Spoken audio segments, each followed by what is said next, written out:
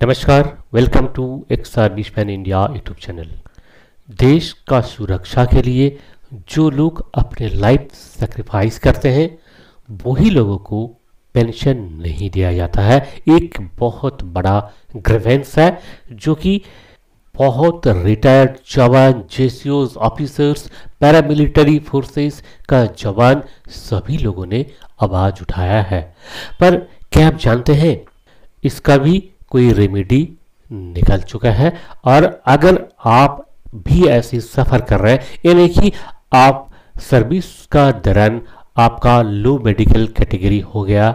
आप एलएमसी होने पर आपको सर्विस से आउट किया गया, यानी कि आपको मेडिकल इनवैलिड बोर्ड आउट किया गया, या फिर आप अपने सर्विस टेन ईयर पूरा करके एलएमसी में ही आप लो मेडिकल कैटेगरी का साथ आप रिटायर्ड हुए हैं।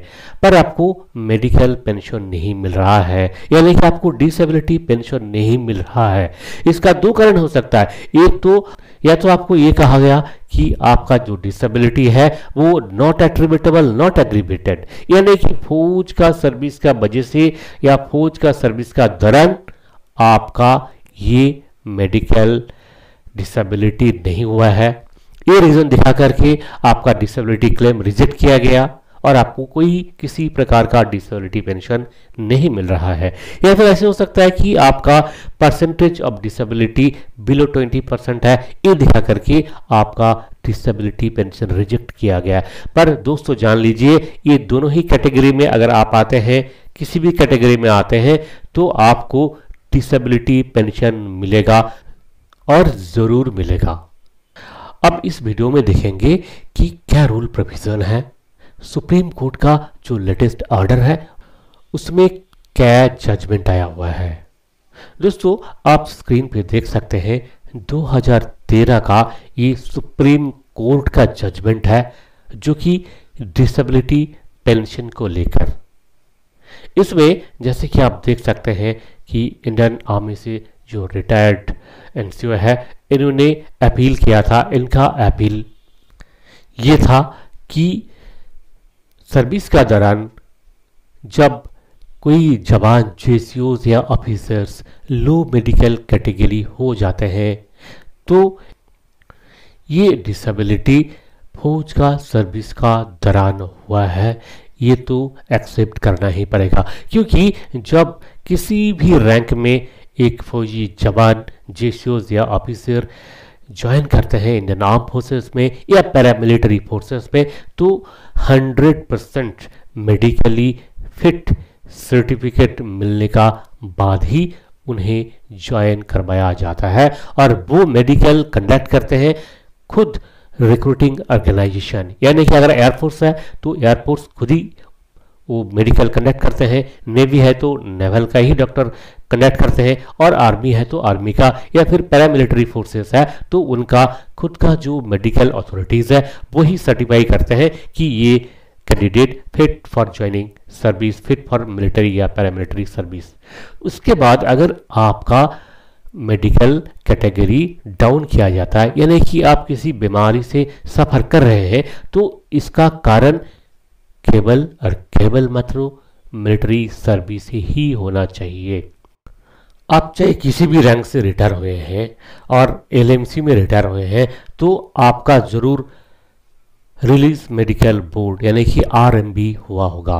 और आरएमबी में क्या होता है, रिलीज़ मेडिकल बोर्ड का जो एक्सपर्ट डॉक्टर्स है, उनका ओपिनियन एक बहुत बड़ा फैक्टर होता है डिसेबिलिटी पेंशन अवार्ड के लिए। यानी कि उनको अगर लगता है कि आपका जो लो मेडिकल कैटेगरी है, ये नॉट एट्रीब्यूटेबल नॉट एग्रीबेटेड है तो वो ऐसे ही सर्टिफाई करते हैं, क्योंकि उन्हें ऐसे ही इंस्ट्रक्शन दिया गया। पर अब सुप्रीम कोर्ट ने जैसे कि आप देख सकते हैं स्क्रीन पे, ये जो रूल प्रोविज़न है, इस प्रोविज़न को दिखाते हुए उन्होंने एक्सेप्ट किया कि कोई भी मेडिकल डिसेबिलिटी ड्यूरिंग सर्विस वो या तो एग्रीबेटेड होगा या फिर एट्रीब्यूटेबल होगा, या फिर दोनों ही हो सकता है। नॉट एग्रीबेटेड नॉट एट्रीब्यूटेबल तो हो ही नहीं सकता है। क्योंकि एक मेडिकल एक्सपर्ट बोर्ड ने सर्टिफाई किया, इसलिए पीसीडीए उसको चैलेंज भी नहीं कर सकता है। पर अब ये तो मानना ही पड़ेगा, क्योंकि भारत का जो सर्वोच्च न्यायालय है, सुप्रीम कोर्ट ऑफ़ इंडिया ने ऑर्डर दे दिया है कि इस तरह का जो केस है, ये case attributable to military service या aggravated by military service count करना है, क्योंकि ये after joining the service low medical category में प्लेस हुए हैं तो इनका मेडिकल डिसेबिलिटी को एने एने नहीं बोल सकते हैं। नंबर वन सेकेंड थिंग यह है, देखिए, इसमें एक और अपील था, जो कि ब्रॉडबैंडिंग ऑफ़ डिसेबिलिटी को लेकर।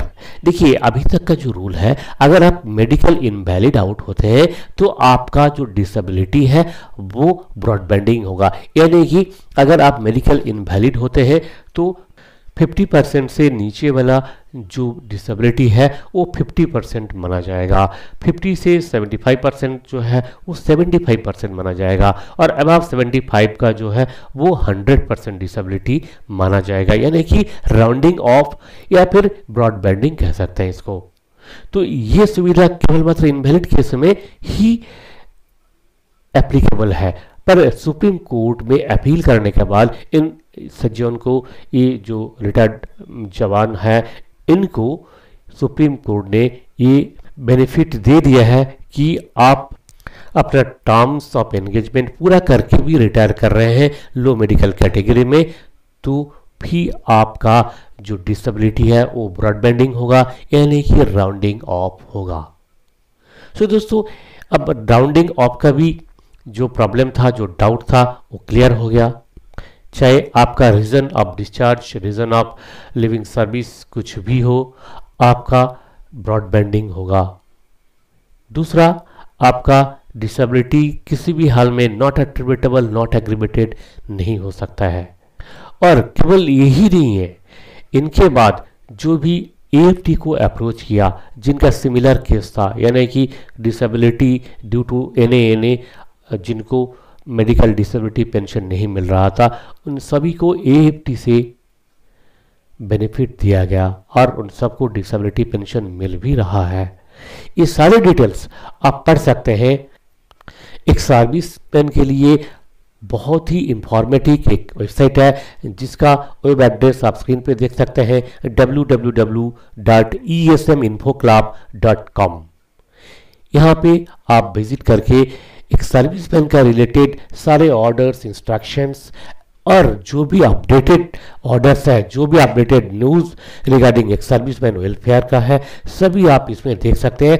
और यहीं पे आपको ये एक रिपोर्ट है जहाँ पे आपको सुप्रीम कोर्ट का ये ऑर्डर भी मिल जाएगा, उसका लिंक मिल जाएगा और बहुत सारे जो केसेस हैं, जिन लोगों को बाद में एफ़ में अप्रोच करने के बाद डिसबिलिटी पेंशन मिल रहा है वो भी लिंक आपको वहाँ पे मिल जाएगा। सो so, दोस्तों इसी तरह का इम्पोर्टेंट जानकारी के लिए हमारे इस चैनल को ज़रूर सब्सक्राइब करके रखें और लाइक शेयर करना तो ज़रूर भूलिएगा मत। इसी उम्मीद के साथ नमस्कार फिर मिलेंगे अगले वीडियो में। जय हिंद जय भारत।